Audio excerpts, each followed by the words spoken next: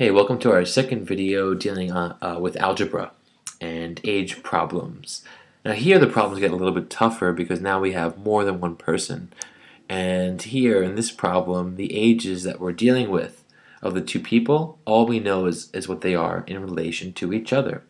So our goal here, even before we start, try and remember that your goal should be to set up everything in terms of one variable, whether it's x or y or whatever because that will allow you to solve the problem. So let's look at it. Here it says that Ben is 8 years older than Sarah. So you might be tempted to say that B is equal to Ben and S is equal to Sarah and then to work from there. And we can and will do that. But the goal is to, to get away from two variables and turn those two variables into one. One way to do that, just from the first statement, is to imagine that uh, whatever age Ben is, right? So B is equal to Ben's age. Well, Sarah, we know, is eight is eight years younger than Ben. So if we take Ben's age and then subtract eight, oh no, my B's look like eights, so I'll fix that. I'll use a lowercase b here. Let me fix this. Um, but what I'm saying is if you take Ben's age, right, and you subtract 8 from it, so b minus 8, that has to equal Sarah's age. Right? So what we've done is now we've defined Sarah's age in terms of Ben's age. And that basically allows us to avoid using s for a variable. So now b is equal to Ben's age and b minus 8 is equal to Sarah's age. And we can move forward. 10 years ago, Ben was twice as old as Sarah. Okay, so what does that mean? That means if you take Ben's age and you subtract 10 from it, you go back in time 10 years, that was equal to twice Sarah's age. Back then, of course, right? So what does that mean? Well, again, we don't want to have a B and an S here because it's just too many variables. But we know that we can define Sarah's age in terms of, of Ben's. So here, now just be careful. Sarah's age, right, is not constant here. This is 10 years ago. So we want to take whatever Sarah's age is, right, and subtract 10 from it. So how do we do that? Well, let's rewrite this. Instead of um, having an s, b minus 10 can equal, well, Sarah's age, we already said, is b minus 8.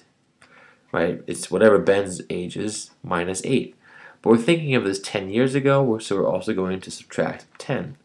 So now that, that's a little tricky right there, but basically what I did was got rid of Sarah's variable s by looking back to my first step here because we defined Sarah's age in relation to Ben's. And then we said that's b minus 8. Okay, but this is 10 years ago. Don't forget that part. And we're subtracting 10. So all of this boils down to now b minus 10 equals 2 times b minus 18. And what I did there was I subtracted 8 and then subtracted 10 more. It's like subtracting a total of 18. Now we can start simplifying. So b minus 10 equals, well here this is 2 times b and 2 times negative 18. So it's 2b minus 36. And we could solve for b. And just to clarify, because this handwriting is a little bit off here, sorry. This is a b, right? And so is this. So what's our goal in the problem before we go any further? We want to find out how old Ben and Sarah are currently, and we're assuming that current means that whatever you know whatever they are now, based on this first statement, which is that he's eight years older than Sarah. So that's that's what we're assuming now is that first part. How would I solve for b? Well, what I might do is subtract b from both sides, and then add 36 to both sides, and we'll do it all in one step. Save myself a little bit of space. You can write that as two steps if you want. I'm just combining them. Here, negative 36 plus 36 cancels out. 2b's minus 1b is just b, right, or 1b. Here, b minus b cancels out, and negative 10 plus 36 is 26. And look at that. What we have now is Ben's age. Ben is 26. Now, the reason we know that's his current age is because that's what we set our variable to, and we solved for it. b is equal to Ben's current age. So let's say that Sarah's age is 10 is, excuse me, 8 less than that. So 26 minus 8 equals what? Well, that equals 18, right? And that's Sarah's age. So those are their ages right now. But you know, with all this algebra, it's very easy to get mixed up. And in fact, this problem tripped me up a little bit too. But what you want to do is really, you know, test these numbers out. Here, of course, Ben's age is 26, Sarah's 8 years younger. But 10 years ago, is Ben's age twice as old as what Sarah would be 10 years ago?